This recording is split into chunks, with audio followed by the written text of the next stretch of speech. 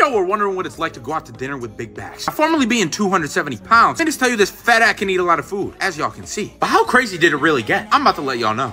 Now, back in the heyday when I used to visit my dad and my stepmom in New Jersey, there was this hibachi place called Ichiban. If you guys don't know what a hibachi is, it's pretty much where you see them cook in front of you. They go crazy with that shit. They be throwing around knives. They be fucking burning shit. They piss on you. If you know, you know. And not to mention when you go to hibachi, the amount of food you get is absolutely absurd. Absolutely perfect for a meatball like me. Always gotta start the hibachi off with the soup and salad. That's a staple. And they kind of cook the food in like sequence. They always give everyone shrimp just for like a little appetizer. And both my dad and my stepmom would give me their shrimp. So that's like 8 to 12 pieces of shrimp right there. But then it's on. Not only would I get one order of shrimp. Oh no, I would get two hibachi-sized orders of shrimp. And hibachi comes with rice and noodles. I'd get extra noodles. I said fuck the veggies, except for the broccoli. I vibe with the broccoli though. Gotta get in the green. So all in all, I was probably having close to 30 to 40 pieces of shrimp.